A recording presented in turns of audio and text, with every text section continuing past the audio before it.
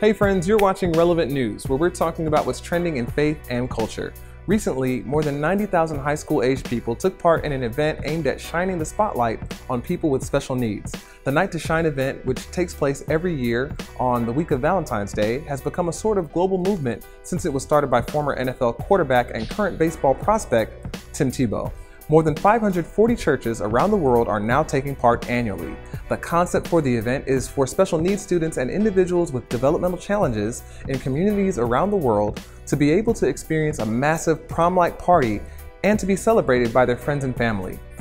After launching just four years ago, the event is now being held in 16 different countries, largely thanks to the efforts of local churches who help sponsor and host them.